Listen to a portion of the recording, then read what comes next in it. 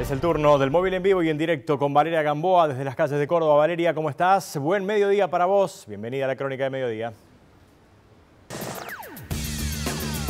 Hola Eduardo, ¿qué tal? Muy buen mediodía para todos. Efectivamente estamos con eh, un concejal, el concejal David Urreta de Vamos, el bloque ex ADN que denuncie, mañana va a haber una sesión extraordinaria en el Consejo Deliberante. Ustedes saben que cuando se convoca sesiones extraordinarias en cualquier órgano colegiado es con un fin específico, es decir, para tratar una norma en particular, no se puede tratar cualquier tema. Y en este caso, nada más y nada menos, se va a tratar otro convenio urbanístico, que ustedes saben son muy polémicos, porque generan muchísimo rédito económico para privados y en realidad la contraprestación que hacen a la ciudad en general no tiene relación, es muy poca. Vamos a hablar con él para que nos explique qué se trata mañana. ¿Cómo le va, concejal? Buen día. ¿Cómo estás? Bien, tal cual lo que vos decías, en cinco días entra el quinto convenio urbanístico, eh, mientras la ciudad está en graves problemas, entra el quinto, y en este caso en la zona de atrás de Barrio Jardín, donde hay un amparo judicial de que no se puede construir locales comerciales, y ante de Porta, donde tenemos problemas de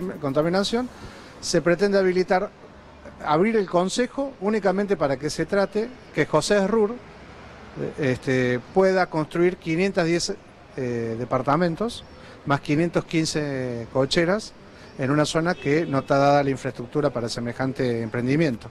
No está la norma habilitante, o sea, tiene que ser una excepción a la ordenanza. Solamente lo puede hacer José Rur con esta ordenanza a partir de mañana, ningún vecino más, solamente él, y a partir de ahí él puede lograr vender estos departamentos, son más de 510 en esa zona, en 1.600 millones de pesos, que es el valor total del emprendimiento inmobiliario, y pretenden pagar al municipio solamente 50 millones de pesos, pero 35 en 7 cuotas sin interés a partir de abril del año que viene.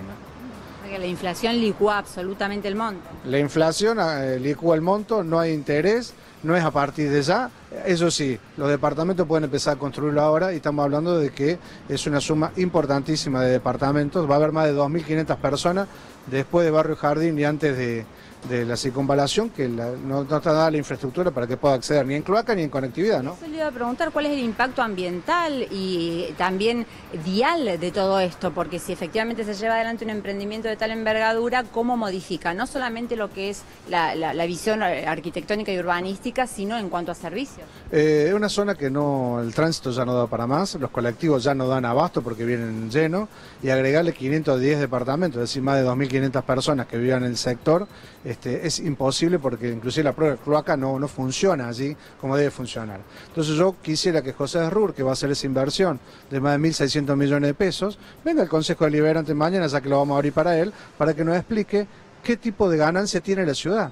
1.600 millones de pesos se va a ganar él y nosotros 50 millones de pesos el municipio, pero recién a cobrar a partir de abril.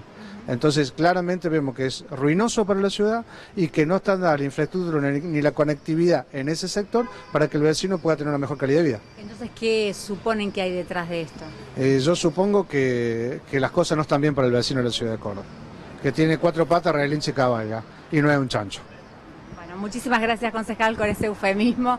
Eh, bueno, explica lo que él entiende, que por ahí uno no tiene pruebas para comprobarlo, pero algunas sospechas puede haber de trajes a medida, de, eh, digamos, que se otorga demasiado a favor de los privados en detrimento de lo que queda para el vecino de la ciudad. Mañana se dará el debate entonces desde las 11 en el Consejo Deliberante un nuevo convenio urbanístico con la polémica que eso conlleva. Adelante ustedes.